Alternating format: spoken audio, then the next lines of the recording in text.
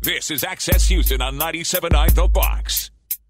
Good Sunday morning. You're listening to Access Houston. I'm your host, KG Smooth, welcoming a first timer to the program. She came up in this thing, I mean, just looking like she just stepped off the runway, like legit. She is incredibly fly. She is a fashion stylist and the CEO of So Kate Boutique. Ladies and gentlemen, please welcome Shawna Campbell to the program. Good morning and welcome. Good morning. Thanks for having me. so, you are the owner of So Kate Boutique, and you're also a fashion stylist. So, uh, where did your love of fashion? Uh, when when did you know that you were into clothes and and and how things looked on people? Um, I would say from a little girl, you know, third grade, Uh-huh. always getting compliments from one of my teachers.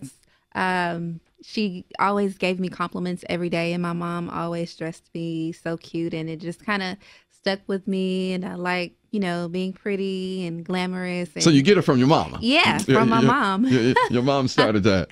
That is so nice. And I mean, you are also an entrepreneur because you have your own boutique. So Kate Boutique. Let's talk about it.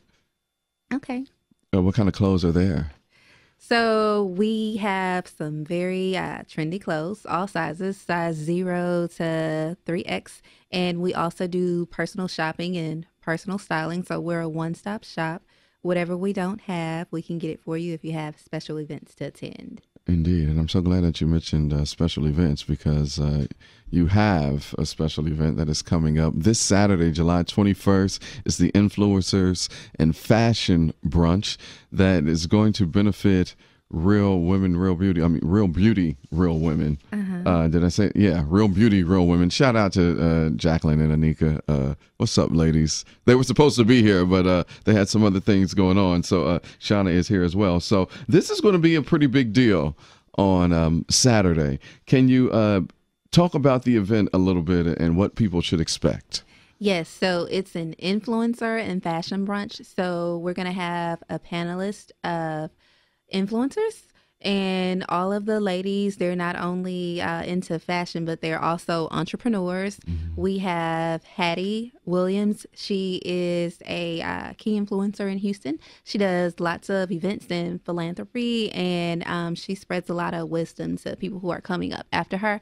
And we also have tamara bradshaw of brookwine uh, addiction. It's a really fun um, Jamaican inspired fitness class. And so um, it's pretty fun. They do a lot of uh, Jamaican inspired uh, fitness workouts. So you're having fun learning dances and working out as well. We also have um, Lonnie Carey. And um, she goes by I am Lonnie. She's a beauty blogger and content curator. She um, helps small businesses to grow. Um, if you're in the fashion industry and you have a boutique or something regarding beauty, uh, you can send her your products and she uh, will review them and wear them and help your business to grow. You'll start seeing some sales coming in. She's really awesome. And then we have Ronchelle Bob of Pop Culture in a Shell. She is a fashion and entertainment blogger. So uh, she blogs about uh, what all of the entertainers and celebrities are wearing, and so she has a platform where you can also showcase your business and get your uh, products seen by a, a large, large uh, following. And then we have uh, Chica Ukazor. She is uh, New Age Beauty on Instagram, or I'm sorry, New Age Nigerian on Instagram. And she's also a fashion blogger and she's international here in the US, also in the UK. So she goes back and forth. So you can get some international exposure with her. And um, You're doing. I mean that that's great. I'm really impressed that you remembered all of these people's and their handles without any notes. So that's uh, beyond impressive that you know by heart your entire panel. Thank you. And we have one more. Um, her name is Lillian Henney.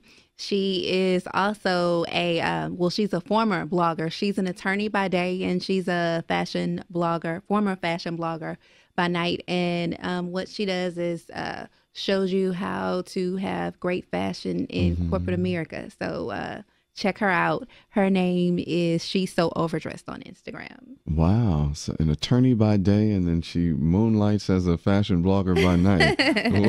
I know, right? Awesome. You're listening to Access Houston. We're talking to Shawna Campbell, who is a fashion stylist and the CEO of So Kate Boutique.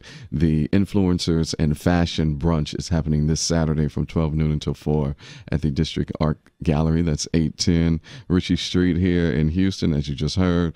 Uh, Shawna gave a whole list of the, the, the entire panel that is going to be there, and this is going to benefit real beauty, real women. Um, since you are involved with uh, Jacquelyn and Anika, can you uh, tell us a bit about Real Beauty, Real Women, and what they do because they do so much from uh, uh, bringing social awareness to things that are going on in the world uh, to just empowering women and and, uh, and and bigging them up. I mean, they do so much. But uh, can you speak speak to their? Yes. so Jacquelyn and Annika, they're so um, supportive. They're some awesome women and they're just always willing to help. But more about um, the Real Beauty, Real Women organization.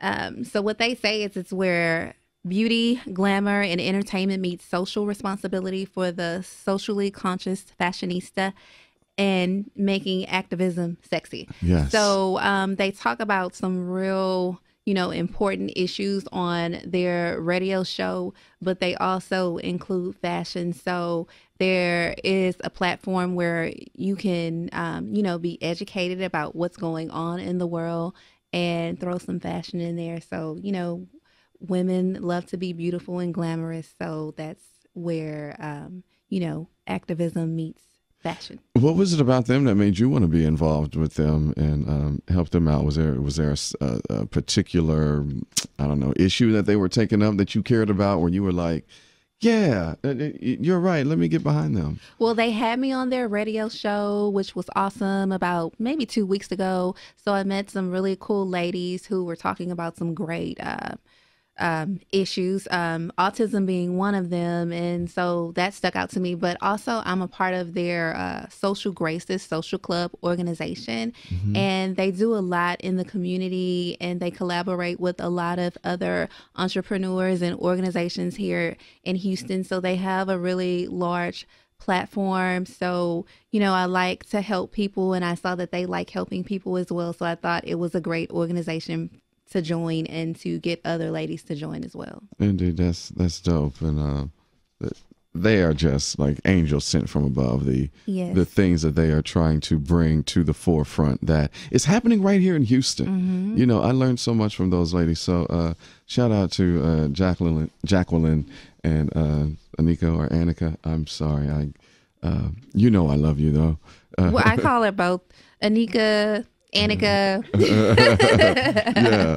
Um, so they should dress probably um, very chic. I mm-hmm. would um, imagine for the influencers and fashion brunch. Well, it is a fashion brunch, so yes. bring the fashion. Uh huh. Uh huh. What um What is your favorite um fashion trend of summer eighteen? Well, I definitely like all of the patterns and um, the colors. I love colors. I'm not afraid of color. So, you know, a lot of people, you know, they like the basics, mm-hmm. but I'm not afraid of color. I like for things to pop. And I really like dressing to go on vacation. So, instead of just dressing really nice and wearing exotic things for vacation, you know, you can do that all summer or you know, all seasons. So, yeah. so what's the um? And this is for my own personal uh, use. What, what what's the trend for this fall and, and, and spring? What is going to be the thing for this fall and so spring? So I can be ahead. Yes. So for this fall, the color is going to be a fuchsia pink. Um, as far as uh, I saw uh, a pink shirt that I was going to yeah, buy polo pink shirt at Zara that had the terry cloth. It was a polo terry go back pink and get it. at Zara. Like yes. it was pink. Uh-huh. Like I was like, yo, I might get that. You know, October breast cancer awareness. But you saying that that's the color for yes. the fall? And what? Fuchsia, pink. Also, that's um, so odd because you get more earth tones uh-huh. in the uh-huh. fall, and they want to pop it out like it's spring. Yes, and the patterns are going to be like Aztec and the Western feel, and also um, really cool power suits. Uh, that's a thing for the fall Power season. suits. Now, Yes. how would you explain So if you're a lady, you know, and you want to wear a suit, but you're going to work, it's not only for uh, corporate America. You can Yeah. make those suits Take look very. Sexy. can- So if you have like skirts and blazers or slacks and blazers, Oh, okay. you can get the really cool patterns and colors for the season. So that's what's happening this fall. All right. Well, cool. Well, uh, thank you for putting me up on game so I can be ahead. I guess my, I was. Uh, I guess I, I, I inadvertently I I was on trend because I saw that shirt and I was like, you know what, Uh-huh. you know, I'm gonna come back and get it because I know with this sale it's gonna be ten dollars less uh, next week. Yeah. Zara, because they got their sale going on. I don't mean to I love endorse it, but yeah. Oh my God, closet full. This Zara. Uh, Shawna Campbell, the fashion stylist, oh so fly she is, and CEO of So Kate Boutique. Uh, we'll see you Saturday for the influencers and fashion brunch from 12 until 4 at District Art Gallery. That's 810 Ritchie Street here in Houston. And for more information, they can go to You can go to my website, uh, www.iamsokate.net, or on Instagram, it's at I am so Kate, where you can click the link in the bio and purchase your tickets, or you can go over to Facebook and put in influencer and fashion brunch. There's a link to purchase your tickets there, or you can go straight to Eventbrite and put in influencer and fashion brunch, and you can purchase all of your tickets. General admission tickets will also be sold at the door. If anybody decides to come at the last minute, we'll still love to have you.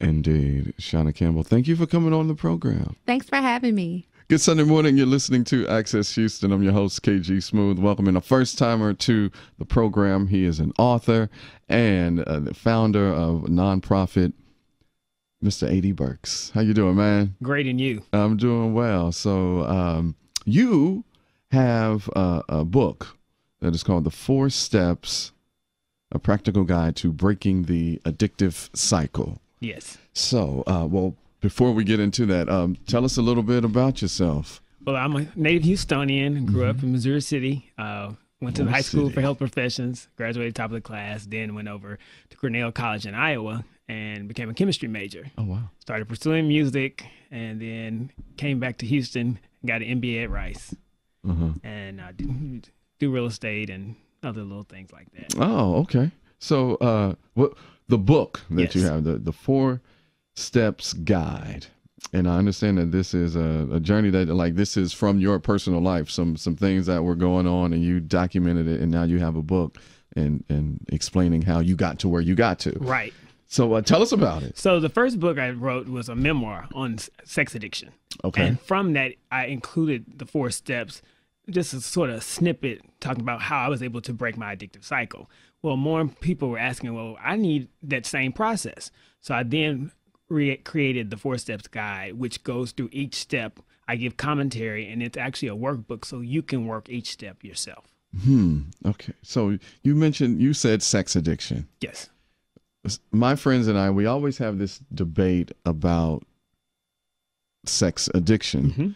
Um, some are explaining to me like it's it is real because at first I I didn't believe in it. I'm like, well, what constitutes one who has a sex addiction? Like if I like to have sex a lot and I just need to, you know, release every day, like is that addiction and then you know a female friend of mine you know had to break it down she was like when it takes over your life like when you can't do what you normally do because you're too busy stuck in the house you know getting yourself off or doing whatever then that is addiction because it, it, reminded me of when Halle Berry and Eric Benet got Right. divorced and then they labeled him A sex addict. a sex addict Right. because I mean he just wanted to have sex with his wife. She probably wasn't giving it up enough, and I was just like, well, what constitutes a sex addiction? Like, is is it a So different let's, let's definition? First, yeah, so let's first different? define the word addiction. Okay. So how I define addiction is any substance or behavior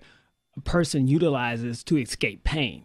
Okay, So when you put the word sex in front of it, an individual is using sex to escape pain. So it goes back into the definition of okay, what's the intent behind the usage? So if you're using it to escape pain, I then define it as an addiction. ah, got it. And that's the problem because, you know, my mom's a licensed professional counselor. So people want to use the DMS5 to determine what constitutes addictions or not, and then they have these criteria. But when you look at it from sort of a layman's term, is the person using the substance or behavior to escape pain? And at that point, are they using it on a consistent basis? Then you get addiction. And that's why you look at our society in general. Mm-hmm. So many people have addictions which haven't been diagnosed. And just this week, they diagnosed gaming as an official, an, an official addiction. So mm. if you can go that simple, am I utilizing this substance or this behavior to escape pain? Then I become an addict.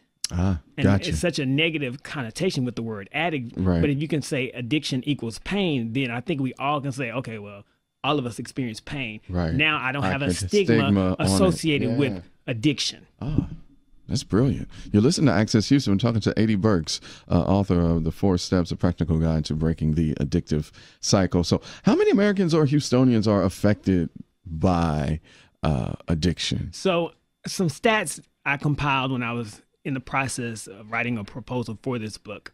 42.1 million Americans are estimated as smokers, 23.5 as alcoholics and drug addicts, 9 million as sex addicts, and 6.5 is gambling addicts. Now, if you look at compulsive shopping, it goes up to 20 million. But what they really haven't, to me, outlined is addiction to food and sugar. Mm, 70% of Americans are overweight. yeah. Mm-hmm. But once again, that's why I put a broad definition on addiction so people can realize and say, well, is this behavior or substance I'm doing, am I using it to really escape pain? This has become an addiction for me. Yeah. I need to get it under check. So, so you know, so saying that, AD, so n- now I'm thinking there are some people in my life who are addicted to certain things. Mm-hmm. Now that you have broken it down like that, like uh, food, for example. Yes. I mean, I got a friend who, like she turns to food when she's feeling bad. Mm-hmm. I want to eat. I mean, there's been plenty of times where we've had conversation. She's like, "Oh my gosh, I'm time to eat a, a pint of ice cream." Like, Right. what is going on? Exactly. And so if we can sort of reframe the definition of addiction and get, our minds wrapped around what's actually occurring, then we can mm-hmm. actually put a stop to it because you just said she was feeling bad instead of really addressing what was causing her to feel bad or what I could say the root because mm-hmm. Once we can get to the root cause, there's no need for addiction. So you see these celebrities that continually going back and back to rehab. Right. Well, what's happening? They're not getting to the root cause of their pain. Right. And normally it's normally it's something uh, traumatic that has either happened in your childhood Yes. or adolescence that you carry with you into your young adult and adulthood. Right. And and that trauma was scary scary about trauma is we put so many layers on top of things that you to get to the real root takes a while. Yeah. And so for me personally, my trauma had to deal with accepting who I was and people pleasing my mom. Because she had sacrificed so much. I'm an only child. All the things and opportunities I were given because of her sacrifice. But at the same time, I had to realize me trying to people please her was then causing me to be addicted to sex. Because I needed to escape from that pain of trying to people please. of trying to people. Oh wow! I see now. You, you, you're in my head. I was just about to ask what led to that. Uh, you just answered it for me. So I'm sure that type of pressure um, was pretty heavy on you. Oh yeah, because you know I was so blessed at the age of 14. I'm going to Russia with people to people student ambassadors. You know, I'm traveling the world. A good student, yeah, I put in the work, but it was her sacrificing as a single parent and allowing me to have all these opportunities. So in essence, I felt like you know I have to perform, be that perfect person in her eyes and then uh, her friends' eyes, you know, to sort of give back to what she's sacrificed. Mm-hmm. But you can't do that. And and I that was my story. Other people do it for other reasons, you know, and you have to really understand which is step 3. I don't want to jump and storm the, step, the steps, but step 3 is, you know, understanding your environment and what constitutes because what you consider normal and what I consider as normal is different because of the households we grew up in. Right. But you know what considers constitutes abuse. You mm. know, psychologically we can define that and realize a lot of people have been abused as children, se- sexually, mentally, physically, emotionally, and they carry that on a day to day basis, and that pain manifests itself through different experiences this with is- others. Oh, yeah. You listen to Access Houston, talking to author A.D. Burks, the, the Four Steps, the Practical Guide to Breaking the Addictive Cycle. Um, uh, as much as you are willing um, to share, when it came to your addiction, uh, was there anything specific like you just needed to do it just so you could feel better? Or what was it pornography? Was it just you know random sex? Uh, i mean you i mean as much as you want to share no, no. i'm just trying well, to to be honest, the the full version of everything that happens is I wrote it in Sex and Surrender and oh it's in the, it's in the book So we yeah, you get can the yeah book you can read the first chapter online at sexsurrender.com and hit the book tab and it gives you all of that information. But to give you, I guess, a snippet of what Sure. happened, I would act out sexually when I felt so much pressure and I couldn't get it because I was having to live double lives, Mm-hmm. trying to be who I wasn't versus who I was, and you know, thinking the life I really wanted I couldn't have, and so I would act out. So I would have to live this perfect life on paper, the smartest kid, you know, doing right, all these things that you know society considers okay. You are worthy once you do this. You accomplish these grades. You you uh, have six figure income from a particular job, but you're not happy. mm-hmm And anytime that it keeps building and building, you're going to Mm-hmm. act out. yeah And so I, my, let's say my, what some would say drug of choice was sex, whereas other people's it could be food, it could right be alcohol, it could be shopping it could be shopping. it could be drugs It And- could- yeah and- and- everybody has their vice And and the scary thing is like when you look at sex versus other addictions, it's to what I call a silent killer. A person who's mm. on drugs, you can physically usually see it. Someone who's drinking alcohol, sometimes vodka will come through their pores. But mm-hmm. sex addiction is a silent thing because you hide and you don't know. And mm-hmm. sometimes the last thing could be ultimate death, whereas you don't have things in place to help you get it. Luckily, uh, more, let me say, thankfully, my religious background or spiritual background is what helped navigate me through that time because God, if he hadn't kept me, I could be just like what's going on right now. The statistics of people dying of sexually transmitted diseases Mm-hmm. right going and up. all that yeah so um when you would act out was it just because of the pressure or were you one of those ones like you just saw a piece of skin and you was like oof Uh, gotta get, you know, let me it- get this out Well, it, it, depends. You know, where we are mentally in that space depends on, you know, we could be having a good day. Some people, you know, they act out because things are going great. Yeah. And this is what That's I've gotten used to is like, oh, this is, you if know, i could be honest right quick this is the honesty hour um i understand that Mm-hmm. because i have two vices two things that i do when i'm feeling bad and when i'm feeling good or i've accomplished something i want to celebrate. Hmm i either want to go shopping okay. or have sex. Hmm one of those two if not both and when i go shopping like it doesn't have to be necessarily you know that i'm buying clothes or jewelry or anything like that. Like i can just you know buy some things for the house. Right. so you know if i'm feeling bad having a bad day i need some things i'll go shopping. That'll make me feel better. Or you know i'll call up one of my starting five and you know go bang them out and then you know i'm i'm good. Um so i i can definitely i can relate. It, it's not as um I guess I'm not on that, you know, same level. I have some sort of uh, self control, and I'm self aware, and I think and I thank God for that. And and good thing that you are self aware. Well, like you say, thank God for that. And that's sort of step one in the process, establishing your own relationship with God. And especially the African American community, our community, like any other community, is based on the church. Yeah, and there's some great aspects of the church and some bad bad aspects of the church and if you aren't able to consciously be aware of what aspect is affecting you at a particular time it can end up being detrimental to your health Mm. and especially in terms of self-worth because a lot of old church was fire and brimstone god is a god of punishment and i think that's why you're seeing now a movement away from religion towards spirituality Yeah. and how i define religion religion says god's love is conditional Mm-hmm. where spirituality says god's love is unconditional yeah. I mean, religion is, as I've gotten older, um, it's just a form of control. It's just a form of control. is- it- they it use has that been. Bible to control Yeah. people. Well, and, and that's my thing, especially in the black community now. You know, we have black Muslims, black Jews, and all. I go towards a spiritual aspect of Yeah. what is your personal relationship with God. Right. And because once you find figure that out, then things can start changing. Yeah. Because then you realize all this information that's being put and thrown towards you Mm-hmm. might not be bela- what you actually believe or what God is telling you. Huh. You listen to Access Houston, talking to author A.D. Burks. The Four Steps, a practical guide to breaking the addictive cycle, is available. Where can people get the book? You can get the book at Amazon or directly from the website, which is the4stepsguide.com. That's the T H E, the number four stepsguide.com.